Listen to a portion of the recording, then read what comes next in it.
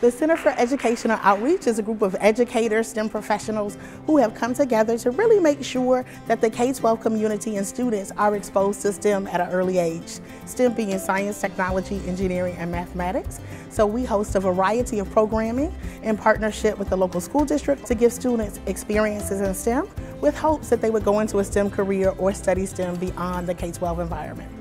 Not only do we work to encourage and inspire students, but we also engage our Hopkins faculty, students, and staff in our outreach experiences as well so that they can pour into the next generation. You know, post-pandemic, we knew that we had academic gaps with students that they needed to catch up.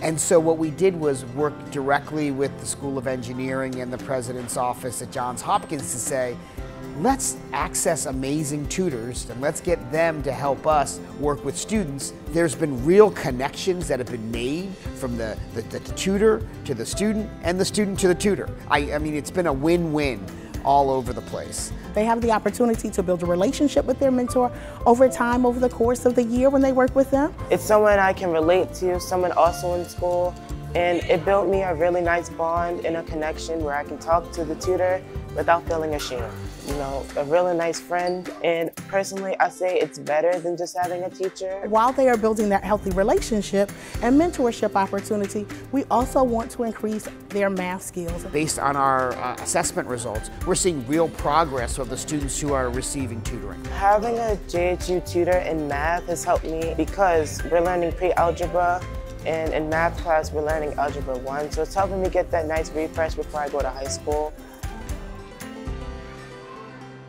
The Charm City STEM League is a part of our organization that provides mentors to Maryland Science Olympiad teams in Baltimore City Public Schools. Each week we have multiple Hopkins students that are going out to elementary, middle, and high schools in the district to work with students after school. Working with C CCSL is great. The kids really get a chance to focus on an event, really test it, and really learn science and engineering properties of, you know, you're going to fail a thousand times before you succeed. The soft skills our students pick up along the way are teamwork and communication and trying things, getting outside your comfort zone, being able to problem solve. Those soft skills make CCSL worth it, and of course, STEM is just fun.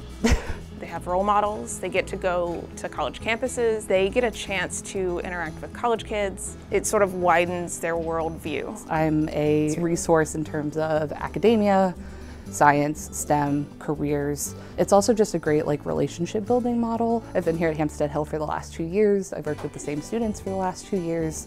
Um, and so I've gotten to see them grow over the course of these two years and get to do greater and better things. I've seen them win medals. I've seen them jump in confidence in certain areas. A lot of times the teacher-student relationship is, is static. But when I'm a coach for Science Olympiad, it's more of a, a mentor-mentee kind of relationship. It's more fun that way.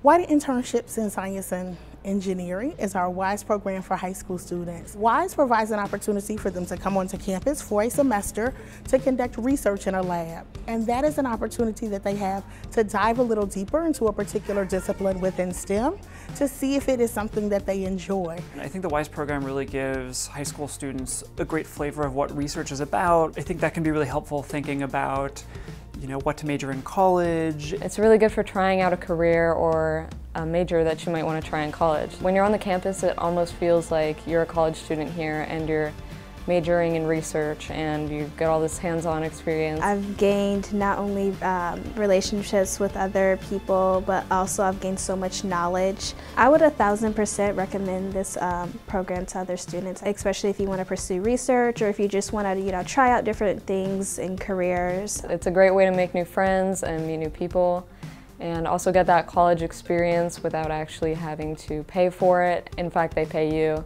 and it's a good resume builder. The WISE program is a really great experience in learning how to be a good mentor, and I think that's just a really important skill for folks like myself to hone in on and for PhD students to learn. This program actually not only got me ready to like know how to teach students, but also broadened my knowledge of the field that I'm working with. When I was a high school student, I didn't know what I wanted to do, and I wish I had a program like this to have someone to direct me. I would definitely recommend that other labs host WISE students. I think it's just a really fun opportunity to work with and mentor students in a capacity that we don't usually get to do, and also kind of expand the reach of the research that we do beyond just the bubble of a university campus and, and interact with folks in the wider community. Our schools need help and support.